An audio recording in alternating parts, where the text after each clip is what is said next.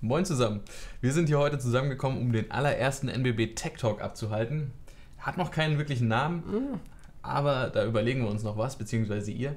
Und wir wollen euch hierin einfach mal die News der vergangenen Woche so aus dem Tech-Bereich diskursiv quasi aufbereiten. Im, Im Dialog. Genau. Und äh, ich bin Clemens, das ist mein guter Kollege Daniel. Jetzt geht's los.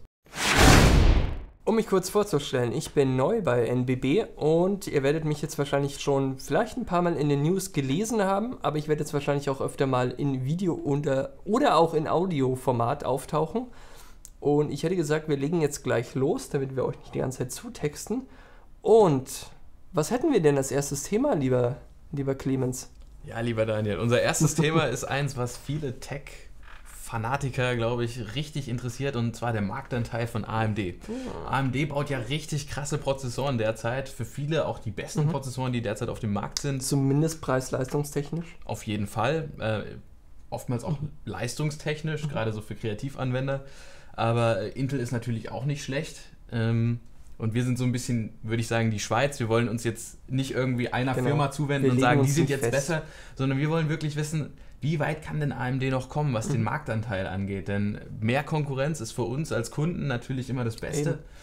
Günstigere Preise und so weiter. Was denkst du denn? Also, wie weit kann AMD da noch kommen? Tatsächlich ist AMD, finde ich, gerade in einen unheimlich interessanten Zeitpunkt reingerutscht, denn eigentlich waren sie mal die Underdogs. Intel war oben, AMD hat es immer versucht aufzuholen. Dann ist Intel gestolpert beim, beim Fertigungsprozess und jetzt hat AMD eigentlich die Chance, mal Marktanteil wettzumachen. Das heißt einfach durch bessere Preis-Leistungssachen. Vielleicht irgendwann mal durch wirklich, wir sind leistungsstärker als Intel und oder auch in verschiedenen Sektoren. Zum Beispiel ist der Notebook-Markt immer noch extrem dominiert von Intel. Die AMD äh, 3000 und 4000 Reihe für Notebooks ist aber super interessant und auch super potent. Und mit dem könnten sie jetzt tatsächlich ein bisschen, ein bisschen Intel überholen und oder zumindest ein bisschen Marktanteil wettmachen. Auf jeden Fall ein bisschen Marktanteile wettmachen. Äh, Du hast gerade den Underdog-Status angesprochen Genau. von AMD. Und dass der jetzt nicht mehr so der Fall ist. Aber ich würde dagegen halten, ein bisschen, muss ich sagen. Denn, Warum denn? Äh, ähm, AMD hat, wenn wir jetzt einfach nur mal auf den Umsatz gucken, es mag jetzt vielleicht erstmal langweilig sein, aber 7 Milliarden hat AMD im Jahr einen Umsatz. Das klingt jetzt erstmal nach viel, aber dann guckst du dir äh, Intel an und die haben halt 71 Milliarden. Die sind Okay. halt als Firma Fast 10, das Zehnfache. zehnmal so groß, das muss man sich mal geben, um es mal ganz salopp zu sagen. Und die stecken im Jahr 10 Milliarden in die Forschung. Also mehr als AMD überhaupt im Jahr umsetzt, haut Intel dann wieder raus, um irgendwie an neuen Prozessoren oder an neuen Techniken zu forschen. Und AMD kämpft ja auch noch an zwei Fronten. ne? Genau. Ähm, Intel aber vielleicht auch bald. Stimmt. Ja. Was machen die da nochmal? Genau, ähm, Intel hat jetzt zum Beispiel auch ähm, einige Ausblicke auf ihre XE-GPUs gegeben. Und also es gibt schon länger die XE-GPUs sind angekündigt, das war aber dann eher so im Einsteiger- und Mittelpreissegment sollten, äh, Mittelklasse-Segment sollten die sich befinden. Und jetzt hat Intel angeteased, beziehungsweise es gab ein paar Leaks auch, dass sie vielleicht im High-End-Gaming-Segment dann Fuß fassen wollen Ende 2021.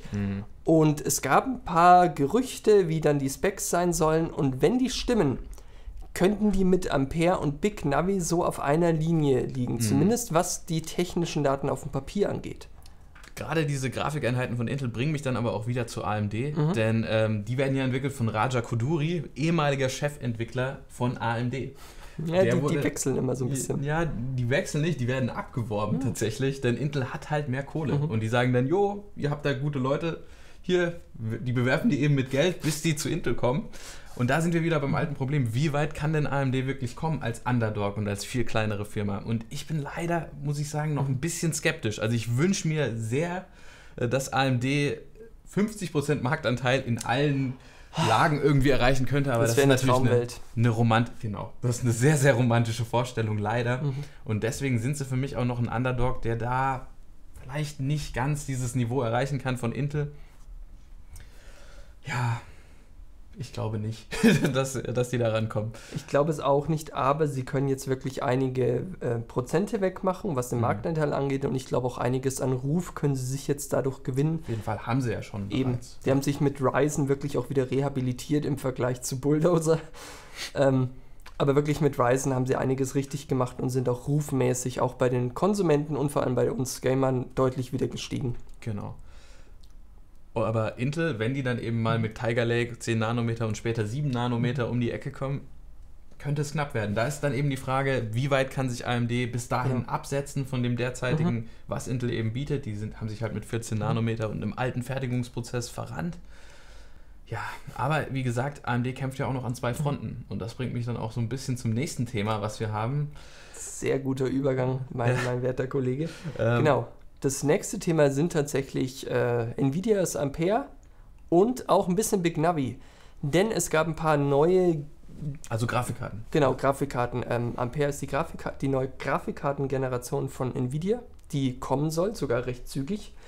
Und die wird am 1. September vielleicht vorgestellt. Nvidia hat einen sehr mysteriösen, es kommt bald etwas, ähm, Teaser auf Twitter gepostet.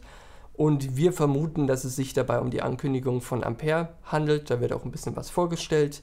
Äh, Jensen stellt seine neueste Lederjacke vor. Immer. Immer. Lederjacken sind überlebenswichtig. Der Nvidia CEO. Ja. Genau. Und ähm, das wird halt interessant, denn AMD hat jetzt mit der 5000er Reihe auch wieder einiges im Grafikkartensegment wettgemacht, weil es eigentlich eine sehr, sehr gute Preis-Leistungs-Grafikkarte ist und die auch wirklich gut abliefert leistungstechnisch. Wenn jetzt aber Nvidia wieder nochmal mit der neuesten Generation wieder nochmal eine Schippe draufsetzt, wird es wieder eng für AMD. Und AMD hat eben Big Navi, was quasi ihre große Ausbaustufe und der nächste Schritt sein soll, haben sie in der Hinterhand und wollen damit Ampere, äh, Ampere dann Konkurrenz machen. Und das ist gerade so ein kleines Rennen. Ja, die ersten Leistungsdaten so zu Ampere oder Mhm. die Specs zu Ampere, die rausgekommen sind, sprechen ja unter anderem von einem absoluten Topmodell, was 24 GB VRAM bekommt. Endlich, endlich. Und nichts unter 8 GB, was so die Leaks angeht. Klingt auf jeden Fall schon mal richtig Mhm. gut, aber die Preise sollen dementsprechend auch extrem werden. Sagen jetzt erste Leaks, andere widersprechen Genau. wiederum. Ganz viel Spekulatius noch im Umlauf. Wollen wir uns jetzt auch gar nicht so weiter groß zu äußern, aber was ich auch wieder spannend finde, ist dann dieser Wettkampf. Ich glaube, das Genau. ist für, für die meisten auch am spannendsten zwischen AMD und Nvidia. Mhm. Big Navi oder RDNA 2. Also das ist jetzt RDN, RDNA 1. Die sind auch deswegen so gut, weil es eine neue Architektur ist, Genau. diese Grafikkarten. Aber die zweite Generation davon für AMD soll noch besser werden. Deutlich besser. Also 50% mehr Effizienz pro Watt. Also das ist eigentlich Das ist ein, ein gigantischer Sprung. Und die geistert jetzt tatsächlich schon seit über einem Jahr durch die Gerüchteküche, Big Navi. Also dieses Flaggschiff an Grafikkarte, Genau. was AMD da rausbringen will. Dauert auch jetzt tatsächlich noch eine ganze Weile Mhm. oder dauert schon seit einer ganzen Weile an, dass wir sie erwarten. Denn äh, Sony soll unter anderem daran mitgearbeitet Mhm. haben an der Architektur, denn RDNA 2 kommt eben auch in den neuen Konsolen rein Was äh, oder raus. super, super interessant für AMD ist, denn ja, die hatten jetzt tatsächlich schon auch in den jetzigen aktuellen Konsolen beide CPU und GPU gestellt. Mhm. Jetzt wird es aber tatsächlich interessant, weil sie jetzt nämlich dann quasi bei den heimischen Computern und in den Konsolen dieselbe Architektur verwenden. Das war Mhm. bisher nicht der Fall.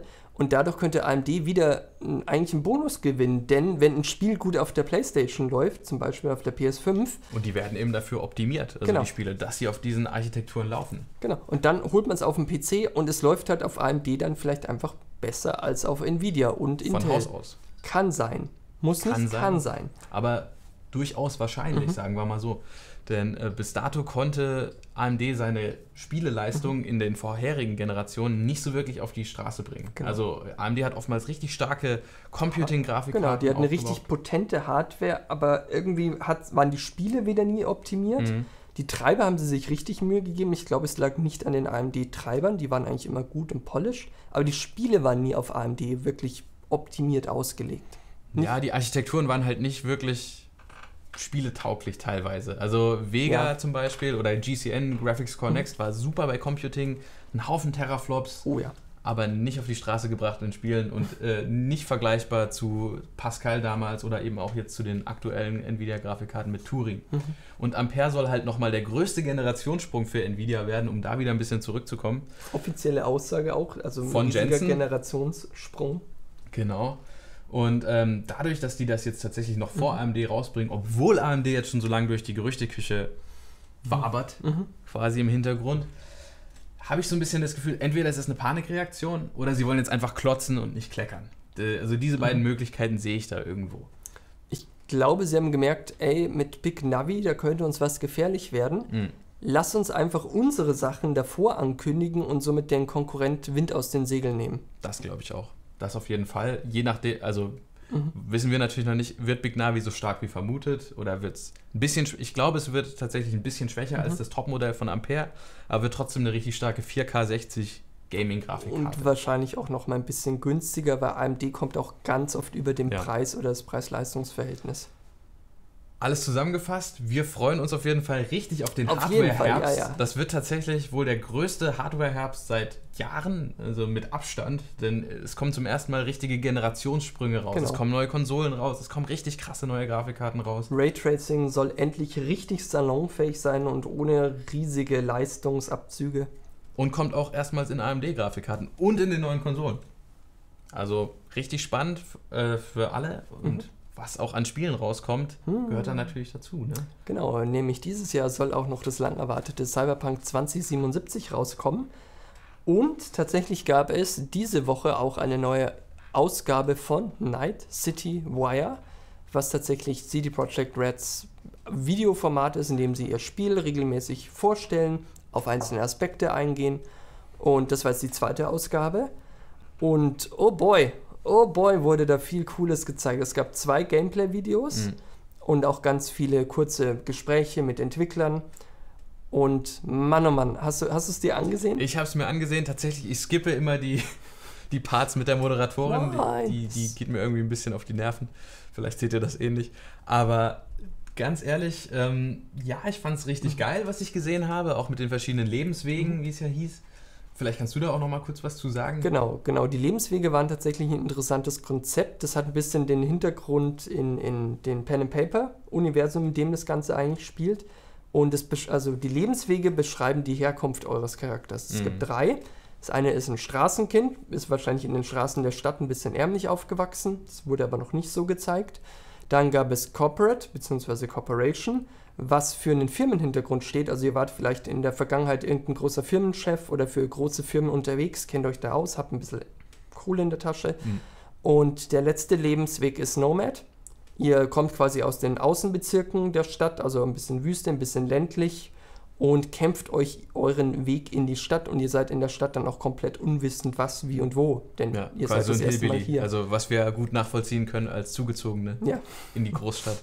Ab, absolut passender ja, Vergleich. Berlin absolut. und Cyberpunk. Ja, total. ähm, also ich fand das auf jeden Fall richtig cool. Äh, ich freue mich auch extrem auf die, vor allem aufs Quest-Design von CD Projekt Red. Das wird interessant. Das wird total geil, weil ich bin ein riesen Witcher 3-Fan, mhm. auch nicht nur Witcher 3, sondern Bücher gelesen, alle Spiele gespielt und so weiter. Auch die Comics gelesen? Nein. die tatsächlich nicht. Ähm, okay. Point taken. Aber ähm, ich bin ein bisschen skeptisch, was ähm, Cyberpunk 2077 angeht, mhm. ob diese große Figur Geralt von äh, Geralt of Rivia oder Geralt von Riva wirklich ersetzt werden kann durch doch so einen doch eher generischen Char mhm. Charakter, der wie mhm. dann eben ist verständlich tatsächlich, mhm. denn wie wird halt eher eine Persona, in die ihr schlüpft und die mhm. ihr ausfüllt, aber sie hat wenig, wenig Geschmack, wenig, wenig eigenen Charakter. Den formt man dann eben. Genau, also, den formt man dann aber selber aus. Ob das aus. dann so viel Tiefe bietet, wie so eine vorgefertigte Figur mit ganz viel History, bin ich ein bisschen skeptisch. Ich kann dich ein bisschen beruhigen. Es wird halt, äh, während bei den Witcher-Büchern die Charaktere halt unheimlich detailliert ausgearbeitet sind und so ein bisschen die Glanzpunkte, hm. ist es bei Cyberpunk eher die Welt, die eben durch den Pen-and-Paper-Hintergrund sehr ausdefiniert ist, mit, mit cooler Geschichte, mit coolen Firmen und, und, und. Also bei Witcher hast du eher, findest du eher die Charaktere cool hm. und bei Cyberpunk ist es ist die Welt eher der Star tatsächlich. Und du tobst dich da aus, ein bisschen wie Skyrim. Du bist ein stummer ah. Held und tobst dich in dieser coolen Welt aus. Ja, das klingt gut, aber ganz ehrlich, wenn ich The Witcher mit Skyrim vergleiche, ist The Witcher 3 zumindest für mich immer noch auf einem ja. anderen Level, muss ich sagen. Wobei, da vertraue ich sie die Project Da vertraue ich ihnen eigentlich auch. Ähm, aber so ein bisschen Skepsis habe ich auf jeden Fall noch. Was mich auch ein bisschen gestört hat bei den ganzen Preview-Videos, die wir jetzt gesehen haben, war das Grafik-Pop-In. Mhm. Also ich zocke gerade Ghost of Tsushima auf der PlayStation mhm. ähm, 4 Pro und äh, tatsächlich uralte Hardware eigentlich. Aber Richtig alt. durch gute Optimierung, man hat kein Pop-In, mhm. man hat ein grandioses Level of Detail in 4K, klar, ähm, Checkerboarding, aber trotzdem. Mhm.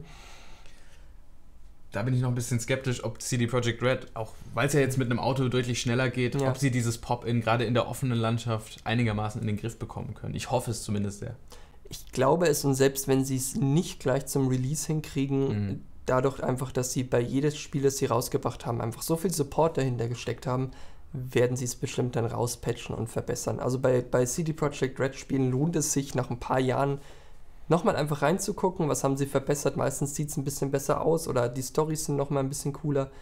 Und ich glaube, es werden sie hier auch machen. Gerade auch die Community bei The Witcher 3 war ja immer Ja. am Laufen. Die haben da auch eine Hm. Super Community Manager, sage ich jetzt mal. Die gehen sofort auf alle Vorschläge der Community mit ein. Bin ich auf jeden Fall auch zuversichtlich, dass sie das über die Zeit gut patchen werden. Mhm. Aber sie waren ja jetzt auch noch mal ein bisschen skeptisch, was das Nahkampfsystem tatsächlich angeht. Äh, ja, Ob uns da eine weitere Verschiebung ins Haus steht? Hoffentlich nicht, aber dazu kann man vielleicht auch noch sagen, lieber fertig und lieber rundlaufend das Spiel als zu früh released. wenn sie es jetzt nochmal zwei Monate nach hinten schieben und dann vielleicht Anfang 2021 rausbringen, tut es ein bisschen weh, aber lieber ein wirklich cooles Spiel, das man die nächsten fünf, sechs Jahre feiert, als Genau. ein blöder Einstieg. Auf jeden Fall, sehe ich ähnlich. Ja, Ja, das war's tatsächlich. das war eigentlich schon auch unser Roundup an News der Woche, die wir so richtig spannend fanden. Wir haben zwei Sachen, zwei Fragen für euch. Tatsächlich würden wir uns freuen, wenn ihr in die Comments vielleicht einen möglichen Podcast-Videoformat-Namen nennt, denn uns fällt gerade nicht richtig was Gutes ein und wir nutzen die Schwarmintelligenz, um das Problem zu lösen. Und das zweite ist natürlich, wenn es euch gefallen hat, lasst ein Like da, teilt das Video, zeigt es euren Eltern, Omas, Hunden und Katzen auf jeden Fall auch. Wir Katzen. wollen hier niemanden diskriminieren. Katzen auch. Und wir würden uns freuen, wenn ihr einfach kurz schreibt, hey, hat uns gefallen oder was hat euch nicht gefallen. Genau, lasst Anregungen und so weiter gerne da. Wenn ihr auch weitere News-Themen gerne mal besprochen haben möchtet, ab in die Kommentare damit. Genau. Und Glocke nicht vergessen und so weiter, das ganze Spielchen. Dann Bis zum nächsten Mal. bis zum nächsten Mal. Haut rein. Ciao. Peace.